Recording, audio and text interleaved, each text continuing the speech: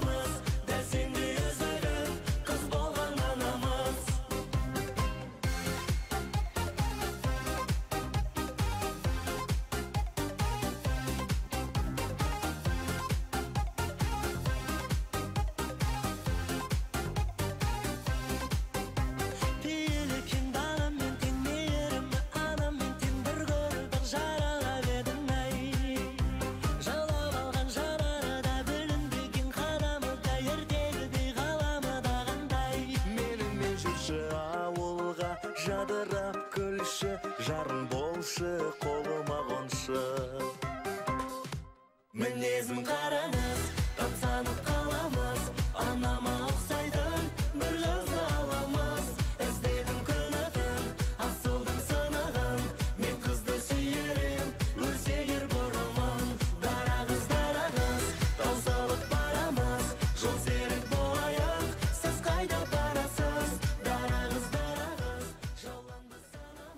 Иә, ерекше осындай көңіл күйді көтеріп, біз хабарымызды жалғастырамыз. Ал енді бүгін 19 қыркүйек әлемде және елде қандай оқиғалар есте қалды екен. Ал енді айта кетейік, бүгін құрметті көрермендер смайликтің туған күні екен. Смайлик деген енді қазір әлеуметтік желі арқылы бәрімізге таныс. Осы смайликтер арқылы өзіміздің көңіл күйімізді немесе бір ерекше ықылас білдіргіміз келсе, біз сол жерде гүлді немесе күліп тұрған смайликтерді жіберіп жатамыз. Ендеше құрметті көрермендер әрдайым баршамыздың жүзімізде күліп тұрған смайлик болсын күлімдеп жүрейік. Ал енді сол күнделікте өзіміз қолданылатын смайликтің тарихын біліп көрсек, бірге тамашалайық.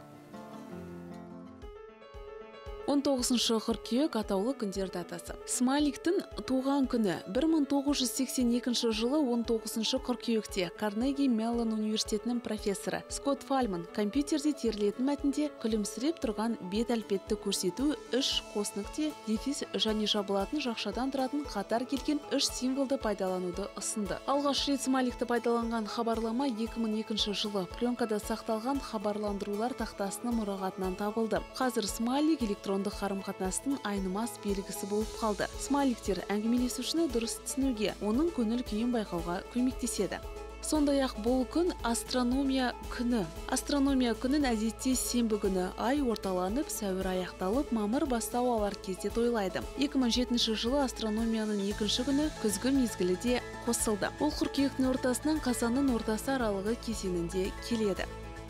Сент китс және невис федерациясының ұлттық мейрамы ұлт күні сент китс және невис федерациясының кариб теңізінің шығыс бөлігінде сент китс және невис аралдарында орналасқан мемлекет. Астанасы бастер қаласы. Мемлекеттік тілі ағылшын тілі. Ақша бірлігі шығыс кариб доллары. Мемлекет конституциялы монархия ұлыбритания достастығы құрамына кіреді. Мемлекет басшысы ұлыбритания монархы тағайындайтын генерал губернатор үкімет басшысы премьер министр есте қалар оқиғалар. 1994 жыл қазақстандық интернеттің туған күні. Жоғары деңгейдегі kz нүкте телеком ұлттық домені іске қосылды.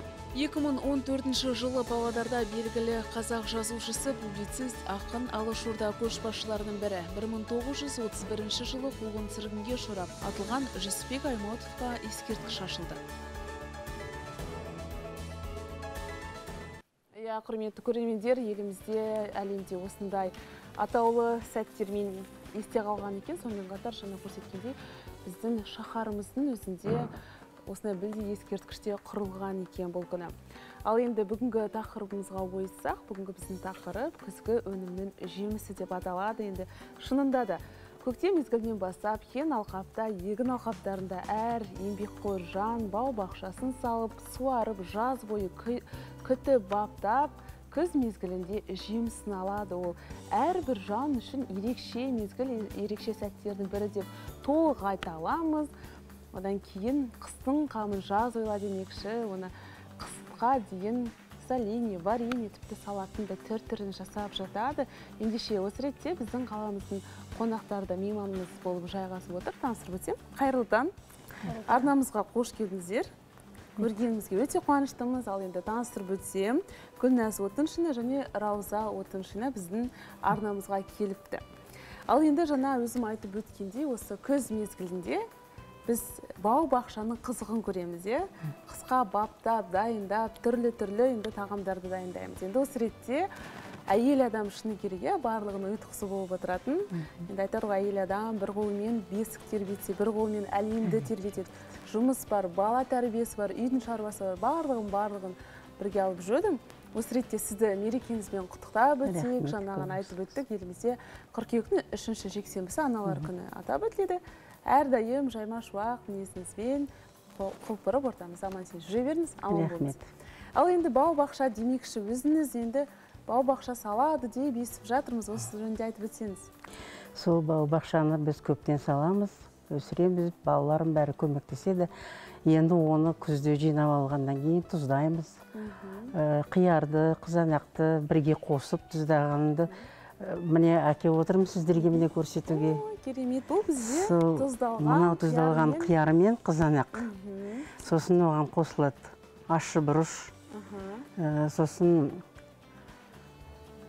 чеснок сарымсақ қазақша са- сар- сарымсақ салынады. Сосын барып укроп көкөністер лавр жапырағы салынады сосын қант қант салынады өзінің мөлшеріменен в общем кім қалай ұнатады сосын тұз и уксус құйғыларыңыз келсе уксусты құясыз ал уксус құймасаңыздар э, лимон қышқылын салуға болады тіпті лимон қышқылын да лимон қышқылын ал сіз өзіңіз қай рецепт бойынша дайындайсыз? Бұл мен өзімнің жақсы көретін рецептім өзіміздің отбасымыз жақсы көретін соны сіздерге де әкеліп отырмын аха.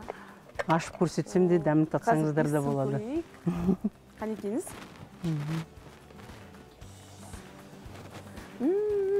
тамаша иіс тамаша. Ал енді біздің құрметті меймандарымыз осындай біздің өз қолымен дайындаған өнімдерін әкеліп отыр. Тамаша енді бұл жаңа айтып өткендей ә, негізі өзіңіз айтып өтіңізші. Енді әр жанның енді әр аспаздың да иә өзінің жеке дара рецепттері болады. Сіз бір рецепт бойынша жасайсыз ба үйреніп қалған немесе өзіңіздің бір- үйреніп қалған рецептпен жасаймын. Немесе өзіңіздің бір сиқырыңыз бар ма? Жоқ сол неге десеңіз осы рецепт ұнады үйдегі отбасыларыма балалар немерелерім түгелі осыны жақсы көреді сосын осылай істеймін. Өздері осылай сұрайды балалар. Жыл сайын неше банка жабасыз? Жыл сайын жапқанда мен піскен кезде бір 12 банкадан 13 банкадан жабатынмын.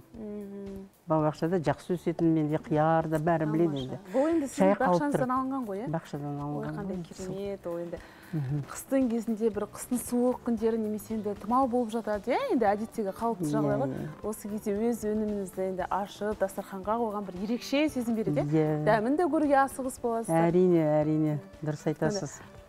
Құлпынайдан варенье жасаймыз. Ә, сосын шиеден қандай жеміс жидек бар болса сондайдан ондай тәтті жеміс жидектерден ә, варенье компот жасаймын. Мен сол компоттан да әкеліп отырмын сіздерге татсын деп.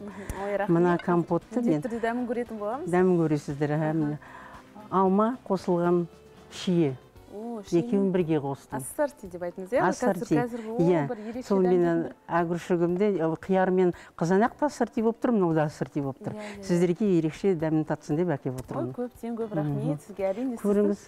қолыңыздан дайындалған тағамды көрсеттік алмалар Иә, үлкен болғасын оны турап салдым. Бұл жерде иә иә иә. Түсі де ерекше. Дастархан кезде енді қонақтарымызға дастархан жаған кезде ерекше сән беретіні де сөзсіз. Тамаша. Дұрыс айтасыз.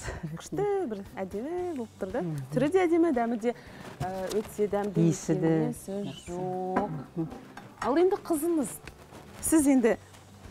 Сіз де анаңызға қарап енді өзіңіз енді қазір жеке отбасы боларсыз дайындайсыз ба осындай тағам Иә, түрлерін бала кезіңізде анаңызға Иә. қарап үйреніп Иә, дейсіз иә? бала кезінен бәрін қарап жүріп, үйреніп, мама бізді еще заставлять етеді ғой. Жүр, ана қазір огурчик тұздаймыз, сен жу деп жуамыз отырып, анда ойнағысы келіп тұрамыз ғой. иә иә Сосын оны бәрін қарап, иә, үйрендік, оны да бәрін істейміз. Оған қоса біз тоқыма жасаймыз да, мамам Иә, үйреткеннің құрметті бәрін. қарап Иә. отырсақ Мгм. тамаша ал енді ә, рауза ханым сіз айтып өтіңізші нәзік ханым бұл процесстің өзі қайда жатыр иә дайындалған иә кезде. қызық қой. Иә жаңа сіз айтып жаттыңыз бізді шақыратын жасайтын деп бұл енді өзі осы күз мезгілі кезінде қыс жақындағанда бір ерекше сәттердің бірі ғой. Ауылдағы халық дұрыс айтасыз. шөбін арқалап ә, малдардың жағдайын жасаса Иә, енді осындай түрлі тұздықтарды да жасайды әрине. Бірақ бір қызықты сәттердің бірі иә? Күздің кезінде өзі бір ерекше есте қалады ғой. Иә иә. Өзіңіз ләззат аласыз ба? Ләззат алғанда қандай? Немесе жасау керек деп жасайсыз ба? Жоқ ләззат аламыз осындайдан. Өзімізге ұнайды. Біз семьямызбен жүреміз отбасымызбен түгел суаруға да. Ерінбейміз құдықта қазып алдық ауылда иә, тұрғанда. бүкіл семьямен барамыз. бүкіл семьямызбен жүреміз. Барлықтарыңыз бірге атсалыстар қызықтап көршілеріміз де келеді. Иә ол тіптен керемет. Енді бұл жерде де байқап тұрмыз енді тіпті рецепттерін де өзіңіз өз тарапыңыздан жасап алған екенсіз Иә, өте иә. керемет ал енді бұл жерде сіз тек қана осы түрлі тәтті тағамдардан бөлек өзіңіздің қол шеберлігіңізді байқап отырмыз бұл жерде. Тістері өте әдемі екен ерекше. Нәзік сондай. Осы жөнінде айтып өтсеңіз неше жасыңыздан бастап бұл тоқыманы маған үлкен жеңгем үйретті көршім үйретті. Төрт төртінші сынып оқығанда Бастадым. бастаған екенсіз. Әуелде мен мына нәскилерді тоқи алмайтынмын. Мына өкшелерін шығара алмай. Қазір міне аллаға шүкір үйреніп алдық. Түр түрлермен түр түрлерімен неше түрлісін мынаған оюлар салып гүлдер салып балалардың кішкентай кезінде солай тоқитынмын да. Қазір енді бұлар өсіп кеткеннен кейін гүлмен кимейді ғой. Иә иә өзіме қайрадан сондықтан қазір қалды енді осындай бір елкі мынау ангор жібінен. Өте әдемі тұр бұл жерде қараңызшы рауза ханым тек қана жүн нәскиден бөлек бұл жерде арнайы бас киім дайындалған екен. Иә иә бас киімдер иә? бар. Бұны қандай әдемі осындай бас киімдер қазір балалар киеді осыны түгіл. Тамаша. Және де бұл жерде қарап отырсам жаңа айтып өттіңіз гүл салатын деп бұрындары бұл жерде әдемі жылтыр жіптермен өрнектелген иә иә иә. Ол өзіңіздің идеяңыз ба? Кір- көріп қойдыңыз иә соның бәрін. Иә, рахмет сізге көп Иә, иә, жасаңыз. ерекше әдемі аха. Сосын мынандай міне қазір әлгі жабдықтарға дұғаларға киіп жүреміз осындай орамал басқа тұрмайды деп өзім үлкен осындай иә, ыңғайлы иә? Осындайды. Осы крючокпен күршікпен мынау тоқылған аналар шимен спицамен тоқылғандар әртүрліден. Ерекше көздің жауын алады. Көп кісілерге қазір де тоқып жатырмын заказдар түсіп жатыр. Апалар оразаға сұрайды мен айтамын оразаға әлі жарты жыл бар ғой. Апалар үлкен кісілер солай ғой алдын ала иә. иә. Біз оразаға барып киеміз деп. А мынау міне еттің астына ыстық тағамның астына қоюға. Дастарханымыз білініп қалмасын деп. Мынандайларды міне шәйнектің ақманның астына қоюға сізді міндетті түрде үйге қонаққа шақыру керек екен. Енді әдемі жақсы сыйлық қолдан жасалған сыйлық дейді. Сыйлап жатасыз ба қаншалықты достар? Сыйлап жатамыз иә. Қуана қуана сізге де сыйлай аламын. Әдемі. мынаны сізге сыйлаймын. Ой бұл өзіңіз сияқты. ұялып қалдым ғой өзі. сұрап алдым ба не ұялмаңыз жоқ. Рахмет көп рахмет. шын жүректен. Тамаша өте әдемі келетін шығар. аяғыңыз жылы болады қазір әлі жылу берген жоқ қой. Шынымды айтсам ә, күні кеше туған күнім болған еді. О, мінекей, ал қайырлы болсын жасыңызға жас қосыла көп берсін. рахмет бұл еске алып жүресіз әрине әрине есіме аламын көп рахмет сізге тамаша сыйлықпен. Мынау міне мойынға тағатын. Манишка дейміз ғой? Иә иә иә. Қазіргі енді балалар қазіргі иә. Енді кейбір кезде кішкентай балалар осылай шарфты олар ерінеді ғой. Иә, ана бұл- бөкебайды байлауға. Иә иә иә. Шарф дейміз ғой және де жылы жан жақтан желде өткізбейді. жұмсақ. Жұмсақ дұрыс айтасыз. әрине жұмсақ және де мына шапкасымен бірге. Рауза ханым сіз өзі трендтерден қалмайды екенсіз. Ең әдемі иә қазіргі енді Иә, гүлназ иә. ханым өзіңіз айтыңызшы осындай түстер қазір енді жастар арасында өте мен кішкене айтамын ғой соның бәрін бағытта. айтып отырады ғой. Мен Иә, өзім де қарап отырамын ютубтан интернеттен қарап отырамын. Тиктоктан тиктоктан да қарап отырамын көріп отырамын. Мен айтып отырамын. Мама осындай осындай жасау керек осындай қазір осындай тренд деп. Өздері әкеліп иә береді тоқып өзіміз әкеліп береміз қандай керек екен. өйткені мен жұмыстамын уақытым жоқ қой а, мама үйде отырады а, іш пысады сосын ол тоқиды. Иә, бір бір сағатта тоқи алады. Бір тіптен бір сағатта Иә, жасап иә шығады. иә жасап керемет шығады. Ал гүлназ ханым өзіңіз ана жолын қудыңыз ба? Иә. Тоқисыз ба? Иә тоқимын өзім. Бұл жас кезінде мектепте оқып жүргенде колготки гамаш тоқитын өзі. Өзіме юбка қазір жұмыс иә, істейді уақыты жоқ. Бір қара юбка тоқыдым есімде бар сол қара юбканы киіп жүрдім. Сосын тағы ә, беретка шапка сондай шарф өзіме тоқыдым мектепте. Неше жаста едіңіз ол кезде? Мектеп жасында оқып иә жетінші мектеп жетінші сынып жетінші сыныпта иә. жетінші сынып оқып жүргенде. оқыған жүрген керемет оны енді анасы сіз үйреттіңіз өзіңіз иә анаңыз? Он бірінші сынып бітіріп жатқанда киетін көйлегі жоқ көйлек тоқып бергем а тоқсаныншы Жаңа жылға. иә иә иә жаңа барлығы көйлек тоқып бердім. Қиын жылдары ол кезде э, тренде әлгі тренд дейсіз ғой? Иә, иә, трендте с капюшоном болды ғой капюшондарменен қазақша капюшон иә ғой. иә иә иә. Сондай көйлек тоқып бергем қанша күнде жасап үйде бір не төрт күнде тоқыдым кофта кофтаны сол тартып иә кофтаны Иә. сол кофтадан маған тігіп берді. Көйлек. А несі еще болды? Гольфы.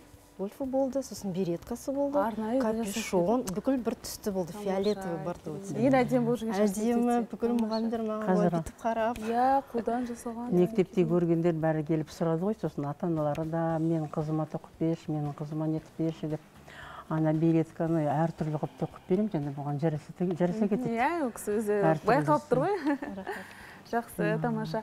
Ал енді осындай бұйымдарды сіз әлі де бүгінде айналысасыз жасап иә жатырсыз иә? айналысып жатырмын ал сіз уақытыңыз енді тығыздығына байланысты енді кейде Иә. рас шыны керек уақыт болмай жатады. Ал өзіңізге не жасаған ұнайды енді қандай киімдер тіккен ұнайды тоқыған ұнайды тоқыған маған осындай міне сіз сияқты тапочки осындай мен тігемін ой тоқимын. Сосын мынандай күшікпен мынаны мен әкелдім негізі. Иә, а, сіздің жасаған Өзінің әкелгені, иә. сосын осыны да иә. Әдемі. Енді мен өкініп отырмын ертерек айтпадыңыздар деп. Иә кешіріңіз сөзіңізді Иә, бөлгенім иә. үшін. Палантин тоқып ажурный снуттар қазір снут сұрайды ғой енді қыс алда әлі де арнамызда қонақта күтетін боламыз. Енді сонымен қатар жаңа сөзіңізге қосып кетейін бүгінде және де тоқылған осы иә киім кешектер э, өте сұранысқа ие. Иә иә иә. Өйткені шынымен де бір жағынан қарасаң жылулық та береді екіншісінен қарасаң енді көбі сәннен қалмайды ғой енді трендтен қалмайды. Өзіңізге тоқып арнайы өзіңізге уақыт бөліп тігіп көрдіңіз бе? Тоқыдыңыз өзіңіз? Тоқыдым бәлені тоқыдым ғой. Иә? кофталар жилеткалар неше түрлі. Қандай күште өзі сәнге шығып жатса өзіңіз жасап аласыз. Өзімізге тоқып аламыз ғой ол кезде енді тапшылық болды және бәрі жұмыста болмаған кез болды. Сол кезде бәрін тоқып беремін. Мына тоқымамен мектепке баратынмын тоқыма киім киіп жұмыс істемейтін кездер болды ғой. Иә тоқсан сегізінші жылдары. барлық иә Иә, отбасыда бәрі солай. ликвидация болған кезде Иә.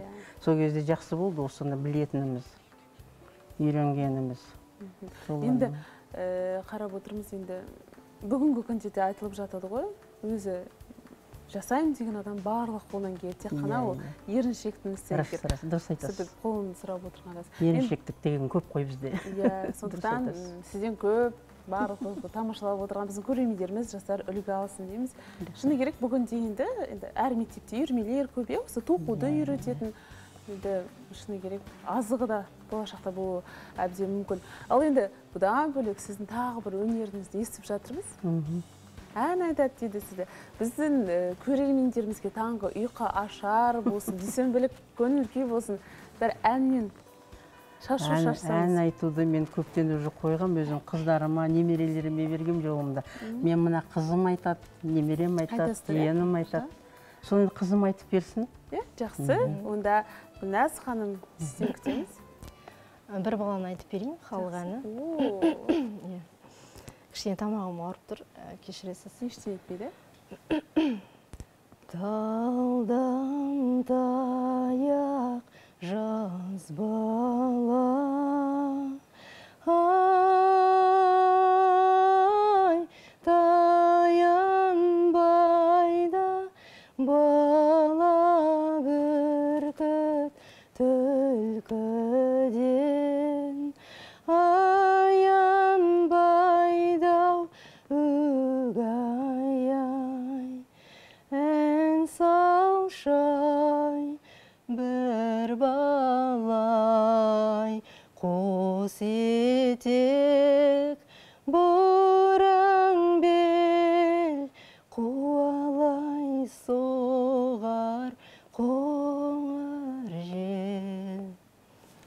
бәрекелді тамаша ерекше.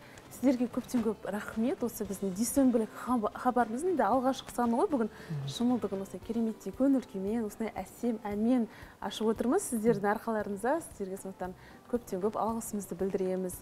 Енді құрметті рауза ханым гүлназ ханым уақыттарыңызды бөліп бүгін біздің арнамызға келіп осы кереметтей дүниелеріңізді халық назарына ұсынып жатсыздар бізбен бірге.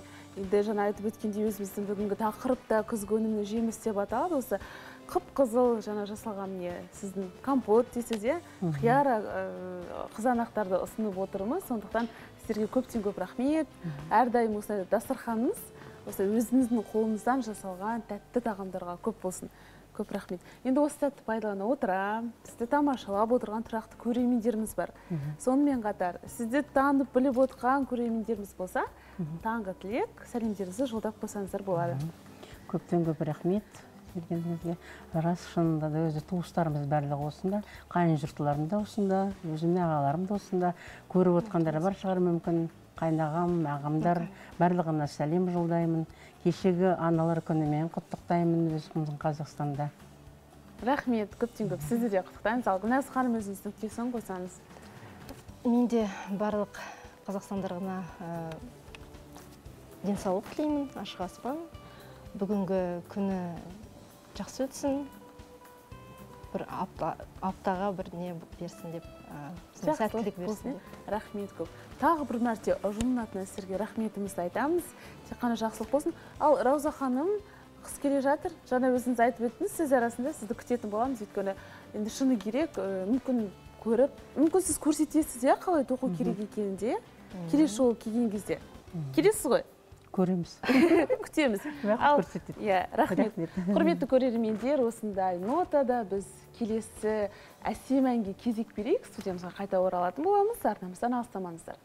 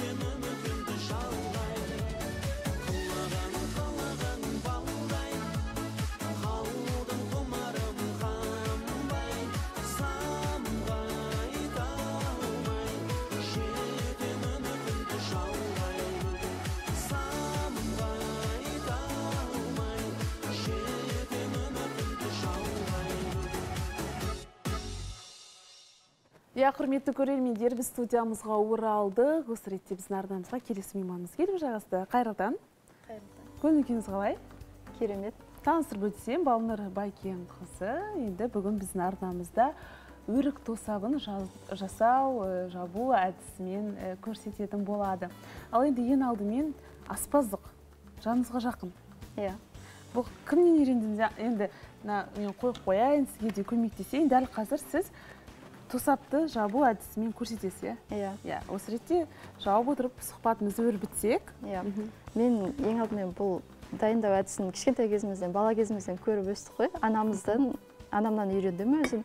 Мхм. Келін болып түскеннен кейін әрі қарай енемнен жаңағы үйренбеген дүниелерді енемнен көріп әрі қарай үйрендім сен үйрендіңіз иә? Иә. Енді кішкентай кезіңізде ең алғаш осы анаңызға енді бәріміз де солай үйрендік қой анамыздың қасымызда Иә. жүріп. Неше жаста едіңіз? Мен кішкентай кезімнен жеті сегіз жасымнан уже ес білген кезімнен осылай. иә? Иә. Сүйікті тосабыңыз қандай? Иә.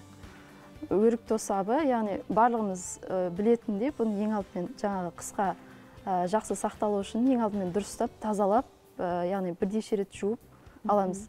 Сол арқылы ішіндегі жаңағы жемісі болады ғой қатты соны алып тастап екіге бөліп осылай тазалап ә, бірнеше рет екі немесе үш рет қалдырып аламыз. Сонымен қоса ә, оған жаңағы ә, қант мысалы бір килограмм өрік болса бір килограмм қант қосамыз. Мгм. осылай міне стерильдеп яғни банканы мен алдын ала стерильдеп ә, дайындап алып келдім. Ә, бұл стерильдеу ә, негізінде жаңағы қыста жақсы сақталу үшін ә, міндетті түрде стерильдеп алған дұрыс. Алдын ала дайындап қойған Иә. иә Ә, сонымен қатар стерильдеудің де неше ә, түрі бар. Қазіргі мысалы ә, кең тараған түрі жаңағы буға стерильдеп Иә, иә, жатады ғой иә. банканы. Сонымен қоса қазір микротолқынды пештерде де ә, болады. Оны білмейді екенмін. Ал сіз өзіңіз қай әдісті қолданған өзіңіз мен өзім жаңағы буға өзіңіз үйренген иә? Иә солай үйрендік. Мгм. а микротолқынды пешке жаңа айтып өттіңіз ол ол жаңағы ішіне кішкентай су құйып Иә. ол көбінесе кішкентай банкалар, болады ғой. Иә ыңғайлы иә иә ыңғайлы. соларды жасайды. Мхм жақсы. ал енді сіз жаңа айтып өттіңіз сұхбаттың басында тұрмыс құрғансыз бүгінде жас келінсіз иә иә жас келін. Отбасыңызда енді осындай тосап дайындап әртүрлі тағамдарды жасау жаңа айттыңыз Иә, иә. енеңізден де үйрендіңіз де екінші Иә. анаңыздан қалай жалпы отбасылық өміріңіз қалай? Отбасылық өмірі жақсы. Иә үйреніп үйрендіңіз бе? Иә бір жыл болдым дедіңіз иә? Иә бір жыл болды. Жақсы тамаша. Ал енді осындай тосап жаңа өрікті жасадыңыз. Бұдан басқа қандай өзіңіздің сүйікті тосаптарыңыз бар? Осымен қоса бізде енем екінші анам мхм. Сол кісі малинадан жасауды мен сол кісіден үйрендім. Негізі бұрын олай жасап көрмегенмін. Сол соны үйрендім. Сонымен қоса жаңағы құлпынайдан неше түрлі ә, компот дейміз. Соларды да жабу білемін. Қазір осы өрік тосабын жабу ақырын ақырын үйреніп иә иә. Жақсы. Ал енді құрметті көрермендер біздің арнамызды тамашалап отырған көрермендеріміз сұрақ сауалдарыңыз бар ма? Мүмкін өзіңіздің әдісіңіз бар ма екен? Қалай жасайсыз? Біздің тікелей эфирге хабарласып естеріңізге сала кетейік отыз үш тоқсан отыз бес хабарласып бөліссеңіздер болады. Ал дәл қазір сюжетке назар салайық. Біздің мамандар не дейді екен? Бірге көрейік. Жаздың аяқталуымен жеміс жидектер мен көкөністердің мерзімі аяқталды деп көңіліңізді түсірмеңіз. Себебі жаз бойы күннің көзін сіңіріп дәрумендерін беруге дайын күзгі жидектердің уақыты енді келді. Күзгі жидектер мұздатқышта ұзақ сақталады және сіз дәмді әрі емдік компоттарды жасай аласыз. Иә бүгінде көкөніс жидектердің балғын түрлерін қысқа дейін сақтауға болады. Мұндай табиғи дәмі тіл үйірер өнімдерді қыс ортасында тағамыңызға да қоса аласыз. Ол үшін көкөністердің дәл піскен кезінде турап дайындап арнайы салафандарға салып сақтап қоюға болады. Кейін дәруменге бай өнімдерді қыс ортасында пайдалана аласыз. Назарларыңызға пайдалы дәрумені мол жемістерді ұсынамыз итмұрын қазір бізге таныс раушан гүлінің барлық сұрыптары хош иісті гүлі мен тәтті жемісі бар жабайы тікенекті итмұрыннан алған. Бірақ итмұрын гүлдеп біткеннен кейін ғана оның жидектері назарға алынады. Итмұрын дәрумендерге бай ондағы с дәруменінің өзі лимон немесе апельсин қабығынан он есе көп. Қазір итмұрынды жинап немесе сатып алып кептіріп қойған жөн. Ал қыста кепкен итмұрыннан емдік шай дайындауға болады. Қызыл жидек дәрумендерге биологиялық белсенді заттарға органикалық қышқылдарға толы тағы бір күзгі жидек. Қызыл жидек жоғары қан қысымына көмектесетін ең бірінші құрал. Сондай ақ оның тағы бір пайдалы қасиеті ол кез келген сусынға қарағанда жақсырақ шөлді қандырады. Мәңгі жасыл бұтаның тек жидектері емес сонымен қатар жапырақтары да өте пайдалы. Бұл жидекті қыркүйек қараша айларында жинаған жөн. Күздің басында жидектің дәмі қышқыл болғанымен қысқа таман ол өзінің пайдалы қасиеттерін сақтай отырып дәмін жақсы жаққа өзгертеді. Шеңгел жидек. Әдемі шеңгел күзгі жидегінің мінезі ауыр. Біріншіден ол дәмсіз. Екіншіден жылулық өңдеу кезінде одан жағымсыз иіс шығады. Соған қарамастан одан көптеген дәрілік құралдар мен пайдалы сусындар жасайды. Себебі оның құрамы пайдалы заттарға бай. Шеңгел жидекті тыныс алу жолдары аурулары жөтел және дауыс жоғалту кезінде қолданылады. Шеңгел жидек шырыны мен қан тамырларды тазартуға көмектеседі. Шырғанақтың да айрықша дәмі бар. Бірақ бұрын әжелеріміз оған қант сеуіп пайдасы туралы қайталап айтатын болатын. Шырғанақ полидәруменді жинақтан тұрады. Шырғанақтан жасалатын ең танымал өнім ол оның майы. Шырғанақ майы бактерицидті және жара жазатын қасиетке ие. Мүк жидек бұл жидек жаздың басында гүлдейді ал оны теруге қыркүйектің басында баруға болады дәрігерлер мүк жидекті ең пайдалы тамақтану өніміне жатқызады мүк жидек құрамында с дәруменінің көп мөлшері және калий тұзы бар ол тұмау кезінде бірінші көмекші бола алады тамырлардың түйнеліп кеңеюі кезінде де мүк жидекті ұсынады көпшілік мүк жидектің мұздатқышта ұзақ сақталған түрін қолданады бірақ негізі оның жаңа піскен түрінде 100% пайдалы қасиеттері сақталады екен долана жидектері кішкентай қызыл алмаға ұқсайды. Адамдар оны декоративті зат ретінде де қабылдайды. Бірақ оның дәмі жағымды тек дәнегі үлкен болып келеді. Доланадан компот пен шарап дайындайды. Медицинада доланадан жүрек соғуының ырғақсыздығы және басқа да қауіпті ауруларға арналған дәрілер жасайды. Ал халық медицинасы болса долананы жөтелге демікпеге және ұйқысыздыққа қолдануды да ұсынады. Ендеше қоңыр күзде пісетін көкөніс жеміс жидектердің маусымын пайдаланып қыс мезгілінде табиғи өнімдерді сақтап алыңыз деп кеңес береміз. Иә құрметті көрермендер осындай тың ақпараттан кейін біз өзімізге түртіп алдық ал енді өзіміздің жұмысымызға кіріссек. Енді жаңа үзіліс уақытында біздің мейманымызбен сұхбат құрсам ол кісі бұл өнімді өз бақшаларынан жинаған екен. Иә. Ал айтып өтсеңіздер сіздер дүкеннен сатып алмайсыздар өздеріңіз арнайы бау бақшада өсіресіздер баптайсыздар. Өзіміздің бау бақшада бар ә, өрік яғни пісіп бастаған кезден уже бізде ә, теріп алып осылай ә, дайындап тазалап қысқа дайындай бастаймыз. Мхм жақсы. Қандай қандай жеміс жидектің түрін өс- өс- өсіресіздер? Үйде шие ағашы сонымен қатар өрік және жаңа қаралы дейтін жеміс қаралы жабамыз және ә, алма бар. Мхм осы жаңа жемістер піскен кезден осылай ә, банкіге осылай дайындап қоямыз қысқа. Бәрекелді тамаша. Ал енді дәл қазір балнар ханым бізге жабу әдісін иә көрсетесіз? Иә енді шыны керек ііі, дүкеннен сатып алғаннан өзің жасаған тағамға өзің жасаған осындай тұсаптарға не жетсін иә? Иә. өзіңіздің қалауыңыз бойынша. Сіз қалай жасағанын ұнатасыз енді айтып жатыр ғой мысалы қалай? Енді шыны керек жасап көрмеппін бірақ осы анамнан көріп жүрмін осылай ә, қант осы әрбір кесеге болу керек па иә? Иә негізі бірге бір деп айтады өзім Иә, иә, бірге. анамнан солай үйрендім. Жаңағы бір килограмм ә, жеміске бір килограмм қант салады деп ә, солай үйрендік негізінде. Сіздің де әдісіңіз сондай? Иә мен де солай сол үйренген әдісім бойынша жасаймын. Мхм жақсы. Қанша ә, банка жабасыз? Шамамен қысқа. Ә, негізінде біздің үйде ә, ұл балалар көп болғандықтан осы тосапты өте жақсы көреді ә, әкем сонымен қатар біз бір жылда 100 банка дайындаймыз. О, 100-150 банка дайындаймыз. тамаша естіңіздер ме көрермендер? Қысқа бір жылға шамамен 100 банкадай осындай тосап дайындайды екен. Тосаптан бөлек тағы тосаптан бөлек әртүрлі айтып жатамыз ғой жаңағы салат неше Иә. түрлі солар- соларды дайындаймыз Ә, ол көкөністердің барлығын да өз бақшаларыңыздан жинайсыздар. Иә. Тамаша бәрекелді қандай керемет енді сіздің ә, үйіңізге қонаққа барғым келіп кетті. Өйткені дастарханды өзім көзіме елестетіп отырмын. тосаптың түр түрі салат дәмділердің түр түрін енді сіздер қыс бойы иә. Иә. Қоректенесіздер ол тамаша әрине. Керемет. Ал енді өкінішке орай мынау дұрыс жасамай иә тұр иә жақсы. енді осындай бұл қарап отырсам енді шыны керек бір көзге ерекше жылы көрінеді бұл. Иә. енді біздің ата апаларымыз айтпақшы айтар ғой советский деп иә үйреніп иә, қалған. міне осылай жауып банканы жабасыз. Сол арқылы ә, жаңағы былай жақсылап көріп аламыз мына жерде бүкіл жаңағы ә, жабылған дүниесін.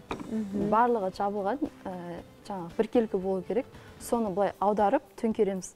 Яғни үш күн төңкеріп көреміз. Мында ауалары шығып барлығы нету үшін сосын дайын болған банкіні біз бөлме температурасында сақтаймыз. Яғни қатты салқын немесе қатты ыстық болмау керек. Сол арқылы банкі көпке ұзаққа жетеді. Ал сіздер қайда сақтайсыздар тоңазытқышта ма немесе? Негізінде қоңыр бізде салқын бөлмелерге қойып жатады жаңағы жертөле дейді ғой. Жертөледе сақта егер жертөлесі жоқ үйлер қоңыр салқын бөлме температурасында сақталады. Жақсы. Енді бұл деген биылғы жылы егер де құпия болмаса өрік тосабын неше литрін дайындадыңыздар өрік тосабын үйде осындай ә, банкіде біз ә, 12 банка дайындадық. Өрік тосабын. Тамаша. Сүйікті астарыңыздың бірі ау деймін Иә. құрметті көрермендер біздің жас келініміз иә сіз ә, Иә. жаңа оңтүстіктен өңірдемін иә дедіңіз иә? оңтүстік өңіріненмін өзім мхм. тұрмыс құрғаныңызға? Иә тұрмыс құрғаныма екі ай уақыт болды. У тамаша жас келін жас та болса құрметті көрермендер қараңыздаршы қаншама осындай кереметтей дүниелерді отбасыға арналған осындай тосаптарды өз қолымен дайындайды екен. Тамаша керемет. Ал енді сіз бұдан басқа енді отбасыда ә, тағам ыстық тағам дейді жақсы Иә. көресіз бе жасағанды Иә. немесе осындай енді тосап дайындағанды басқа да мысалы банкаларды ә, енді салат деп айтып жатамыз соленье тұздықтар жасағанды ұнатасыз ба иә негізі өзім ә, айтатын болсам ас үй менің үйдің ең сүйікті бөлігі деп айтуға болады. Себебі өзім кішкентайымнан тәтті ә, тағамдарды жасауды ә, сүйіп өстім. Неше түрлі жаңағы торттар тәтті бәліштерді жасағанды жақсы көремін өзіңіздің хоббиіңіз хоббиім ретінде иә солай айтуға да болады. Балнұр сізге көптен көп рахмет. Енді шынымен де дүкеннен сатып алғаннан үйде жасағанға не жетсін? Соны көріп өзім де балалық шағым есіме түсті. Өйткені дайын өнімнен өз қолынан дайындаған өнімге не жетсін? Енді осы ретте арнамызды тамашалап отырған біздің көрермендерімізге отбасыңыз мүмкін иә? Сонау оңтүстікте мүмкін сізді тамашалап отыр. Ыстық сәлеміңізді жолдап қойыңыз. Ә, бізді тамашалап отырған көрермендерге қайырлы күн тіледім. Яғни жақсы апта ә, сәтті апта болсын. Жақсы. Балнұр сізге көп рахмет. Арнамызға келіп енді жаңа айтып өттіңіз өзіңіз жас келінсіз соған қарамастан уақытыңызды бөліп эфирімізге эфиріміздің қонағы болғаныңызға мың да бір рет алғыс. Тағы да күтетін боламыз сәттілеріңізбен. Ал енді құрметті көрермендер келесі кезек әсем әнде болсын біз кейін студиямызға ораламыз. Хабарымызды жалғастырамыз. Бізбен бірге болыңыздар. Опмай, опмай, опмай, опмай, опмай, опмай. Мыналарың қайтеді ал біреулер астанада жоқ дейді ал біреулер алматыда бар дейді шымкенттің қыздары сың дейді ақтөбенің қыздары дың дейді құдаларым билеп отыр дейді құдашалар билеп отыр дейді нағашы жұрт билеп отыр дейді құдағиым билемейді дейді ал класстастар қайда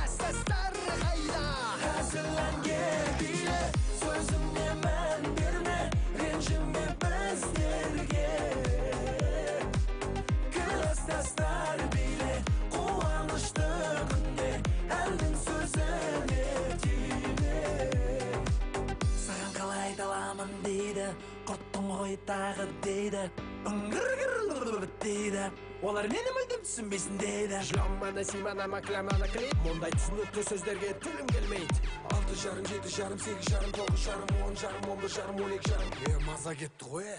Осындай әндер шығып кетсін ба ағайын?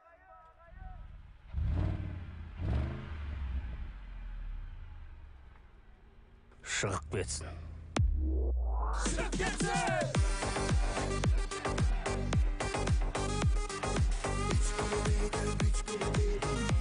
Оп, опмай,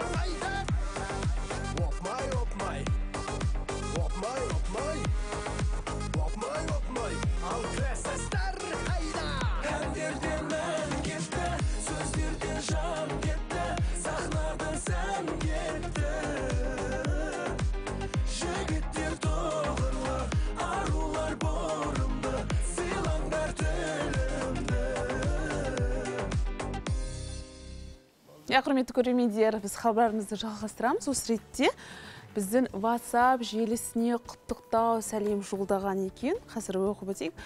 Бүгін 19 қыркүйек перизат дәулет қызының туған күні екен. Сізге ұзақ өмір мықты денсаулық әрбір күніңіз шаттық пен бақытқа толы болсын дейді. Болгожиндар әулеті ендеше перизат біз де сізді бүгін 18 жасқа келіп жатқан туған күніңізбен шын жүректен құттықтаймыз. Әрбір күніңіз бақыт пен шаттыққа қуанышты сәттерге толы болсын. Сіз үшін әсем әуен.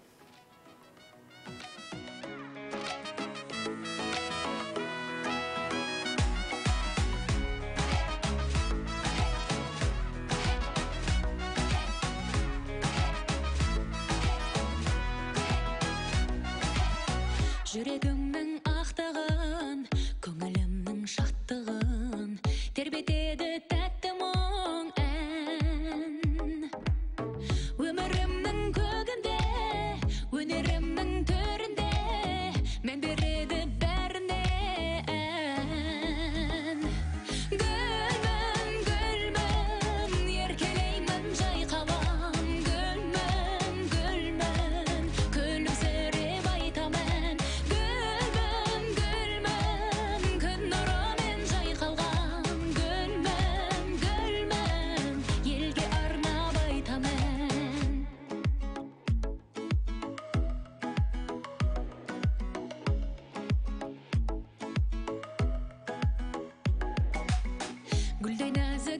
is in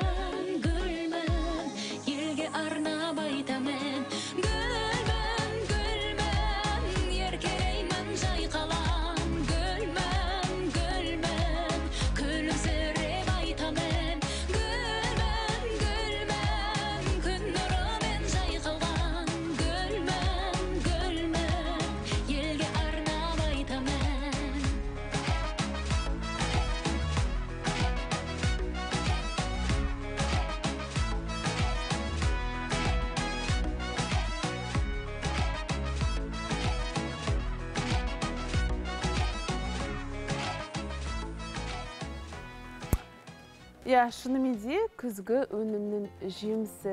Бау бақшада бапы баптап күтіп оны жаңа да біздің эфирімізге келген қонақтарымыз айтып жатыр. Тек қана аналар отбасыдағы қыз ғана емес барлығы отбасы болып осы жеміс жидек көкөністерді баптаймыз күтеміз суарамыз деп енді әрине ол бір отбасының бір шаңырақтың бір жемісі деп білеміз. Күздің кезінде осы кішкене ғана тұқымнан осындай ә, кереметтей қиярларды өндіру бір үлкен жеңіс деп білемін. Жаңа ғана біздің студиямыздың қонақтары тіптен бізге біздің ұжымға арнамызға осындай өз қолдарымен дайындаған тәтті тосаптарын қияр әгүшіктерін компоттарын қалдырып кетті. Ал енді дәл қазір дәмін көрсек.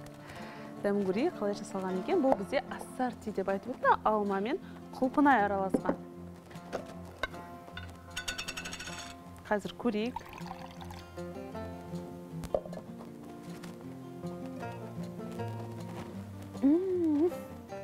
Нағыз табиғи өнім. Дәмі тіптен керемет. Шөл басады салқын енді жаңа өзіміз айтып өткендей мұндай түрі де өте керемет. Өйткені енді қазіргі таңда енді сок деп айтамыз ғой. Ә, енді краска қосылады деп айтып жатыр үлкендер айтып жатыр ғой. Табиғи өнімді алыңдар ә, газ алған сусын ішпеңдер деп. Сондықтан құрметті көрермендер біз де сіздерге кеңес береміз. Осындай табиғи өнімді өз қолымыздан дайындап жасап оны қысқаға сақтап осындай табиғи өнімді пайдаланайық. Шынымен де шөлді басады. Сіздермен бірге бір сағат бойы сұхбаттаса келе менің де бір аузым кеуіп қалған еді. Өте жақсы болды. ал енді құрметті көрермендер енді айтар ғой отбасының ханшайымы ә, ас үйдің ханшайымы бол деп сондықтан біз сіздерге айтамыз. Қыз балалар осындай енді бүгінде енді біз көбінесе үлкен жандардан үйренеміз иә? Аналарымыздан әжелерімізден үлкен апайларымыздан үйренеміз. Сонымен қатар бүгінде енді әлеуметтік желіде қарқынды даму үстінде ғой. Сондықтан ютубты қосып қойып үйреніп осындай әгүршік қияр тосап тұздықтардың барлығымыз өзіміз жасап үйренейік. Еш қиындығы жоқ деп ойлаймын. Керісінше отбасыңызға өз қолыңызбен ұсынған қандай бақыт? Ендеше қазір әсем ән тыңдап қайтадан студиямызға ораламыз. Бізбен бірге болыңыздар.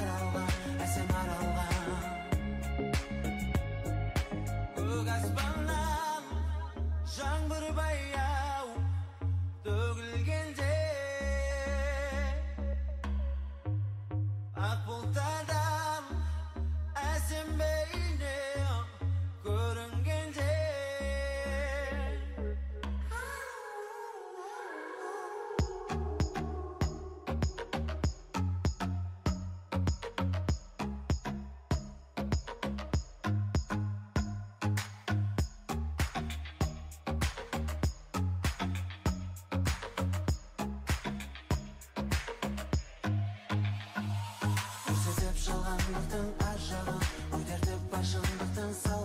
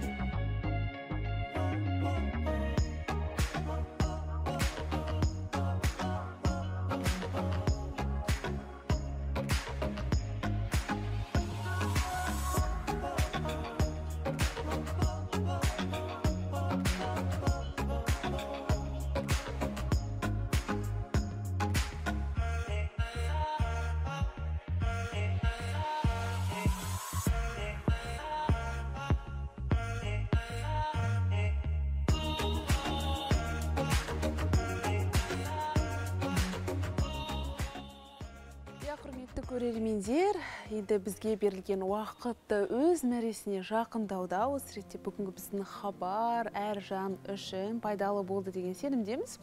Хабарымыздың басында осы талай жылдар бойы бау бақшасынан осы қытырлақ қияр қызанақ түрлі э, жеміс жидектен тосап компот салаттың түр түрін және де осындай тұздықтарды дайындайды екен. Кейін біздің эфиріміздің жалғасын жас та болса бүгінде түрлі осындай дәмділерді дастарханға э, жасап жайнатып жүрген балнұр есімді аруымыз жас келін болды. Сіздер көптеген ақпарат алды деген сенімдеміз. Енді шыны керек ана бар әлемді жарқыратып отбасының ұйытқысы болып жатқан аналарымыз аман болсын өйткені хабарымыздың басында айтқандай күні кеше елімізде аналар күні атап өтілді. Осы ретте аналарымыздың қолынан дәмін татқан таға- тағамдардың өзі бір ерекше енді әр жан үшін ерекше деген сенімдеміз. Сондықтан ал енді құрметті көрермендер әлі де науқан аяқталған жоқ. Дәл қазір нағыз осы тәтті көкөніс жеміс жидектердің пісіп тұрған нағыз енді бір былайша айтқанда айтады ғой. Дәл қазіргі сәті деп пайдаланып қалыңыздар.